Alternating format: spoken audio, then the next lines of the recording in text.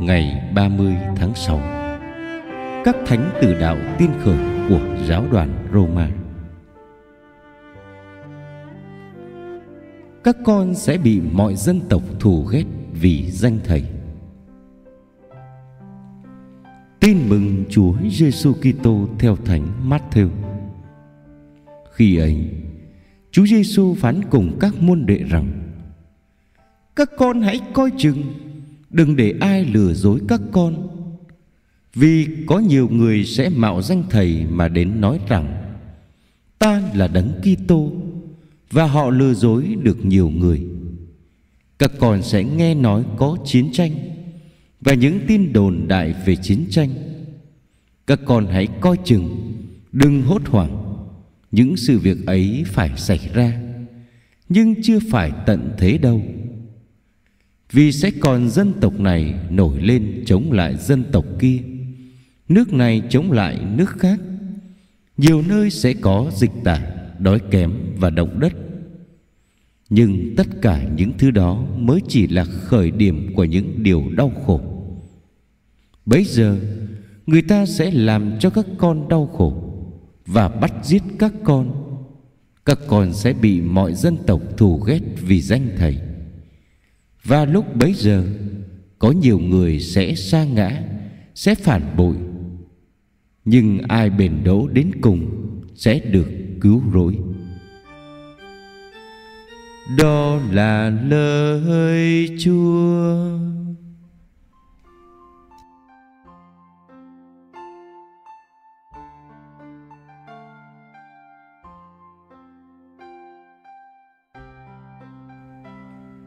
Suy niệm và cầu nguyện. Những hạt giống tiên khởi. Các con sẽ bị mọi dân tộc thù ghét vì danh thầy. Giáo đoàn Roma, những tín hữu đầu tiên của Chúa Kitô trong hội thánh Chúa, đã bị tàn sát dưới tay bạo chúa Nero. Một sử gia ngoại giáo đã ghi lại cuộc tàn sát ấy như sau: một ngày lễ kính các thánh tử đạo đã đổ máu dưới triều hoàng đế Nero được bắt đầu cử hành tại Roma từ năm 1923. Nhưng đến năm canh tân phụng vụ năm 1970, thánh lễ này được nối kết với đại lễ kính hai thánh tông đồ Phêrô và Phaolô và được mừng chung trong toàn thể hội thánh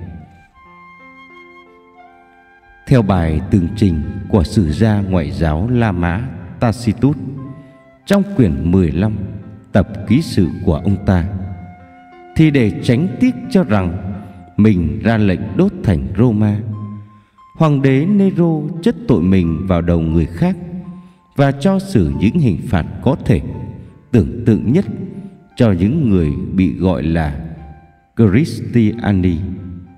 Bọn người bị dân chúng ghét bỏ vì tội lỗi của họ.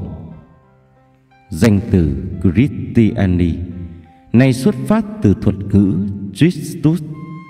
Tên này bị tổng trấn Pontius Pilatus, hành hình dưới triều hoàng đế Tiberius. Trước tiên, người ta bắt những người tự xưng là Kitô hữu, sau đó qua chỉ điểm. Một số người khác đông đảo cũng bị bắt. Họ bị bắt không phải vì việc đốt thành phố, Nhưng do lòng thù ghét của dân chúng. Người ta biến các tử tội thành trò chơi, Quăng họ vào hầm thú Hay cho chó xé xác, Đóng đinh họ vào thập tự Hay đốt họ. Vào lúc chiều tối, Người ta đốt cháy họ như ngọn đuốc. Hoàng đế Nero dành cả công viên của mình vào trò chơi này. Và còn thiết lập cả hí trường để hành hạ người có đạo. Vào lúc các tay đua xe tiến vào hí trường, ông trốn vào đứng giữa đám dân chúng hay đứng trên xe riêng của mình. Đoạn văn trên do chính sử gia ngoại giáo Tacius để lại cho chúng ta.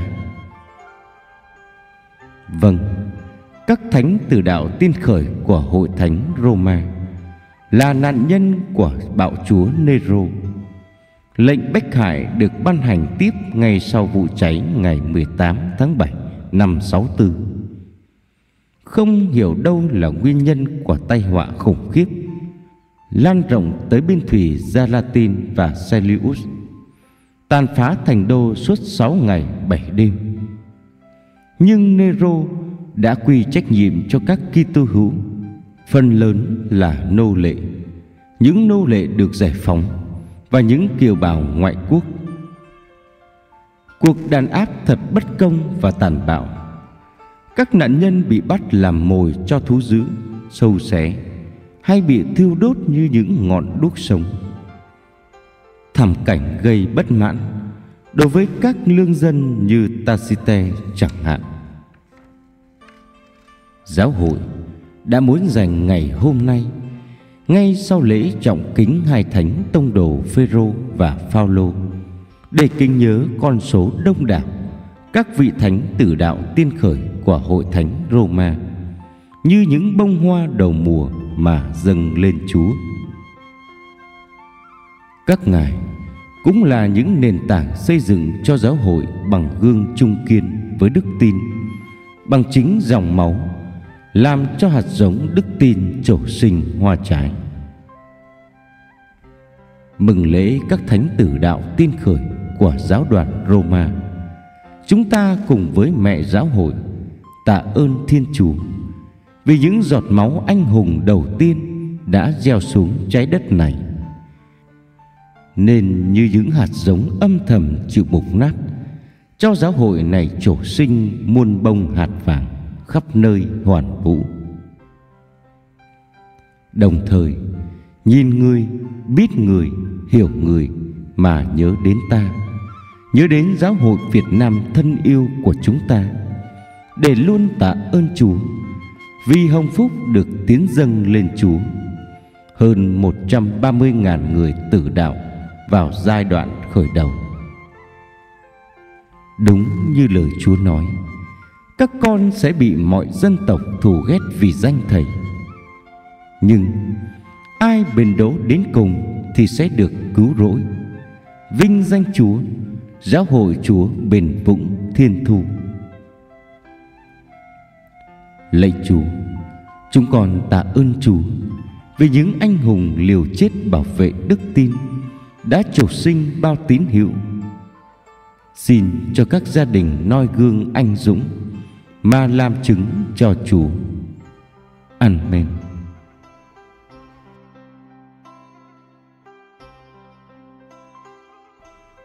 Lạy Chúa, chúng con tôn vinh lòng thương xót của Chúa đã tỏ bày nơi hy tế thập giá của Chúa Giêsu, nơi trái tim máu cùng nước tuôn trào nguồn suối cứu độ.